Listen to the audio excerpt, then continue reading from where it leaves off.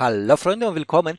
In diesem Video will ich euch eine weitere Möglichkeit zeigen, Verbindungsprobleme zu lösen, wenn unsere Internetverbindung sehr langsam ist oder wir können uns vielleicht überhaupt nicht mehr mit dem Netzwerk, mit dem Internet verbinden, wegen einer falschen Einstellung unserer Netzwerkadapter oder gar mehrere. Wenn wir uns also irgendwie verkonfiguriert haben und wissen aber nicht mehr so genau, wie wir es rückgängig machen können.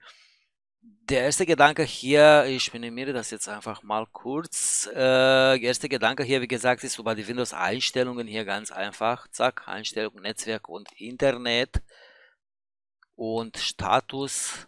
Hier ganz unten haben wir die Möglichkeit, das Netzwerk zurückzusetzen. Ich mache das jetzt einfach mal. Hier kommt nochmal eine Warnung, ein Hinweis, ja, dass dadurch ja, alle Netzwerkkarten entfernt werden und neu installiert werden in den Original, ja, mit dem Original Einstellungen halt. Das ist im Prinzip das gleiche, als wenn wir jetzt hier über unser Gerätemanager einfach unseren Netzwerkadapter hier genau deinstallieren und den Rechner neu starten. Ja, das wird nochmal ja, komplett neu installiert mit dem Treiber und so weiter. Ich mache das jetzt einfach mal hier, wirken Sie so, zack. Okay, ein Neustart ist hier erforderlich. Ich werde gleich abgebildet. Wir sehen hier, das Adapter ist jetzt weg. Wenn wir jetzt hier zurückgehen, haben wir hier auch kein Ethernet-Adapter mehr. Ich unterbreche vielleicht mal. Zack. Die Abmeldung hier, genau und mache das einfach mal. Ich schließe das hier und versuche mal über den Gerätemanager hier nach geänderte Hardware suchen und schon ist mein Adapter wieder da. Das war jetzt quasi mein Neustart hier. Das Adapter wurde erkannt und installiert. Das ist jetzt die eine Möglichkeit. Ja, jetzt ist es mit, wie gesagt, komplett in den Originalzustand. Die Einstellungen das ist dann, wo war das jetzt hier genau? Ja, die einfache, die erste Möglichkeit. Allerdings gibt es noch die Möglichkeit, nur bestimmte Einstellungen zurückzusetzen. Und das ist das, was ich euch heute eigentlich zeigen wollte. Ich schließe das mal. Es gibt da bestimmt jede Menge Tools. Ich will euch heute eins davon zeigen, hier was kostenlos ist. Das heißt Complete Internet Repair. Ich habe das jetzt schon installiert hier und wenn wir das starten, sieht hier so aus. Und schon haben wir hier die Möglichkeit, nur bestimmte Sachen hier, Protokolle zurückzusetzen. Hier wird nochmal empfohlen, dass wir, bevor wir das Tool hier laufen lassen, dass wir uns ein Restore Point, falls da was irgendwie schief geht, dass wir uns da ein ja, Restore Point halt erstellen. Das können wir mit uns das Tool hier auch die Möglichkeit hier mit zwei, drei Klicks hier Create a Windows Restore Point. Hier nochmal ein Hinweis, dass wir vielleicht keine Sachen reparieren sollten, die nicht irgendwie defekt sind, die funktionieren, ja. So nach dem Motto irgendwie Never touch a running system. Hier können wir im Prinzip ja alles hier über ein Häkchen setzen. Allerdings müssen wir hier aufpassen. Vielleicht wollen wir jetzt bestimmte Sachen wie zum Beispiel automatische Updates oder Hostfile ja nicht zurücksetzen. Ich mache das jetzt einfach mal hier nur mein TCP/IP-Protokoll und WinSox und Renew Internet Connection einfach nachdem wir uns unser Restore Point erstellt haben und einfach auf Go klicken und schon hier unten sehen wir, was alles gerade gemacht wird. Hier sehen wir nochmal, das ist durch, das ist durch. Jetzt werden die Internetverbindungen erneuert schon. Ist jetzt durch und spätestens jetzt nach dem Neustart sollte hoffentlich alles wieder in Ordnung sein. Und ja, die Internetverbindung wieder funktionieren. Wir machen jetzt, beziehungsweise, genau, wenn unsere Internetverbindung immer noch zu langsam ist und wir denken, da ist noch ein bisschen was rauszukitzeln, da kann ich euch auch ein paar Tipps geben.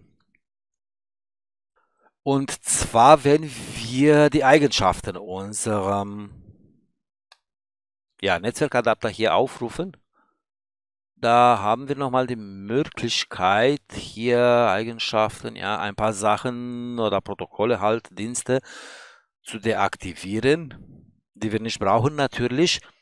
Ich werde jetzt hier einfach mal, also wir können hier einfach testen, ja, der QoS Paketplaner hier, das ist für den Heimnetzwerk zum Beispiel. Das können wir wirklich ruhig aus oder deaktivieren hier, ja, wenn wir nicht gerade viele verschiedene Netzwerkkomponenten haben.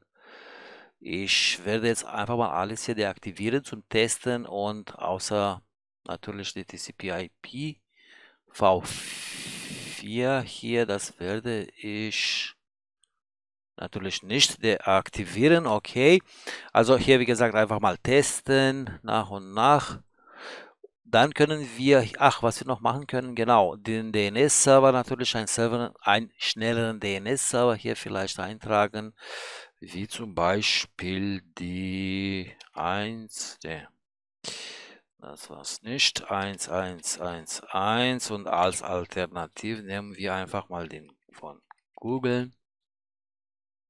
Genau, zack, das bringt auch nochmal vielleicht ein bisschen was. Des Weiteren können wir hier nochmal über Konfigurieren erweitert ein paar Sachen wie Jumbo Frames zum Beispiel aktivieren, beziehungsweise Jumbo Rahmen hier. Das ist standardmäßig deaktiviert. Ich aktiviere das jetzt einfach mal hier volle Kanone. Allerdings macht das Sinn hier nur, wenn wir die Schnittstelle startet jetzt einmal neu. Also diese Jumbo Frame zu aktivieren macht wirklich nur Sinn, wenn wir hier ein Gigabit Internet bzw. Leitung haben, Netzwerk, ja. Sonst bringt das ja, das bringt nichts, ja. Im Gegenteil. Und was mir jetzt noch einfällt, wir können ja mal zwischendurch einen Test hier starten. Okay. Äh, was mir jetzt noch einfällt, das gilt allerdings nur für, beziehungsweise ab Windows Pro können wir uns hier nochmal den Gruppenmanager, Editor hier, Gruppen, zack, hier unser Gruppenrichtlinien-Editor starten. Und hier können wir auch nochmal ein paar Sachen äh, konfigurieren, wie zum Beispiel hier unter administrative Vorlagen, Netzwerk, das haben wir jetzt aber okay. QoS-Paketplaner hier reservierte Bandbreite, das wird automatisch ähm, 20%. Hier irgendwo ist noch eine Erklärung. Hier, standardmäßig beschränkt der Paketplaner das System auf 80% der Bandbreite, ja. Das bedeutet jetzt, wenn das Dienst hier deaktiviert ist oder nicht konfiguriert, dann nutzt, dann werden quasi 20% reserviert. Ja, wir müssen das dann einfach hier aktivieren, hier eine Null eintragen, übernehmen, okay, okay. Und schon haben wir da die volle Bandbreite. Das macht natürlich Sinn, einen Neustart jetzt, den Rechner einmal komplett neu zu starten, vielleicht den Router auch einmal und dann nochmal zu testen. Wir sehen hier bei mir ist jetzt, äh, ja, habe ich nur noch ein Drittel hier vielleicht von der Geschwindigkeit, was ich vorher hatte. Das kann jetzt aber auch, ja, irgendwie, das schwankt immer ein bisschen. Oder auch nicht. Genau, äh, das war es auch schon alles. Ich hoffe, ich konnte euch damit weiterhelfen. Wenn ihr Fragen oder Anregungen habt, einfach einen Kommentar hinterlassen. Über ein Like oder ein Abo freue ich mich natürlich auch. Danke fürs Zuschauen und bis zum nächsten Mal.